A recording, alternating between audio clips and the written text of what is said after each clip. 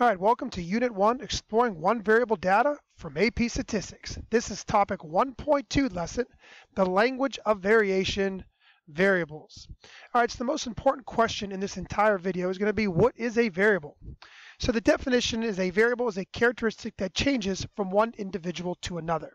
So an individual is any thing, object, person, place that we collect data from. So we collect variables from individuals and literally anything that you could collect from one of these individuals is considered to be a variable. Now, where does it get the name variable? Well, because typically the things that you collect vary from individual to individual.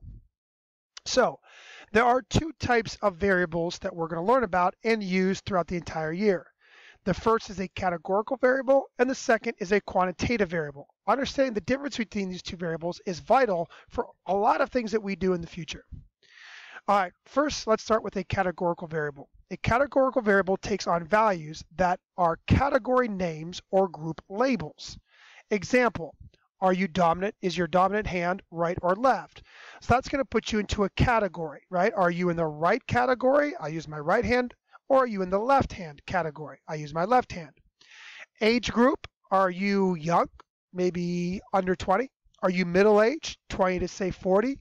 Or are you old, anything over 40? You can even have more age groups if you want, but you get placed into a category. So each individual, based on their response, goes into a category, hence categorical variable.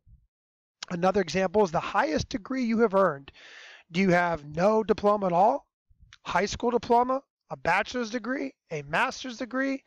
Again, it's a category that you go into. So think of it like that.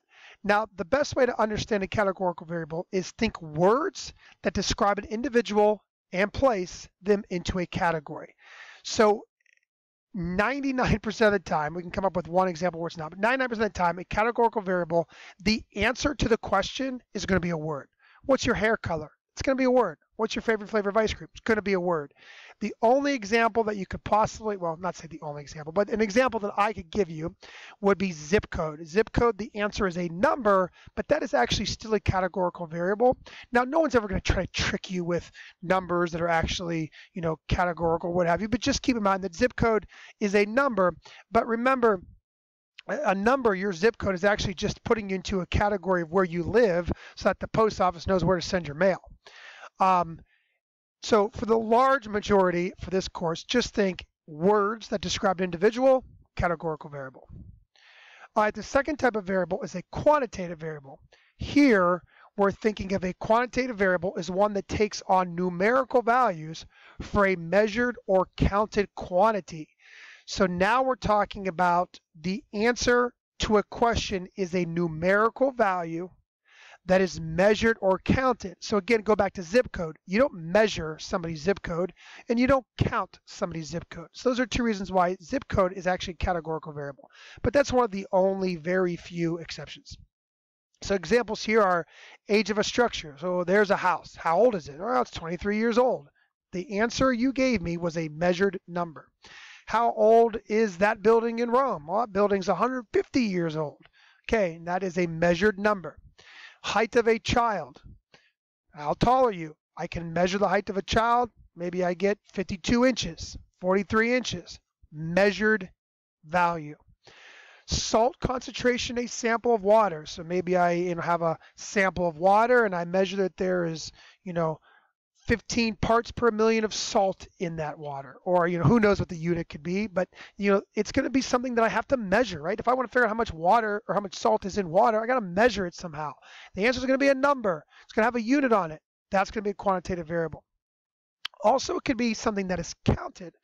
For example how many skittles are in that package? Well you don't measure how many skittles you count. So that's also quantitative variable. So I counted 19 Skittles came in that package. Oh, 18 Skittles came in this package. Um, even if I'm saying how many chairs are in that classroom, oh, I counted 22 chairs in that classroom. That's a quantitative variable.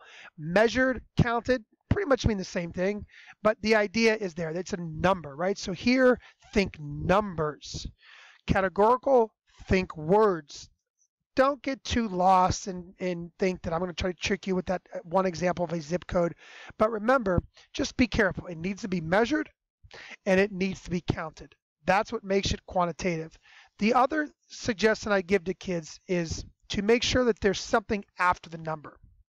Whether it's a word like, hey, I counted 22 desks, or it's a unit like, hey, that's 22 inches long, whereas a zip code has nothing after it. 4406 zip code. Okay, great. Nothing after it. The other thing is quantitative variables need to be averaged. For example, I could say, oh, of all those buildings, the average age is 19.6 years. Of all those kids, the average height is 46.3 inches. Of all those packages of Skittles, there's an average of 17.8 in a package. It needs to be something that's averaged. So go back to the categorical, right? You don't average words. You can't say the average hair color is Brownian. You can't average words, right? Same thing with zip code. You can't average zip code. There's no makes no sense to say the average zip code is 1,200. It just doesn't even make sense. So again, categorical, think words that put you into a category. Quantitative, think a numerical value that was measured, counted, and can be averaged. All right, guys, that's it for topic 1.2. Pretty simple. See it on the next video.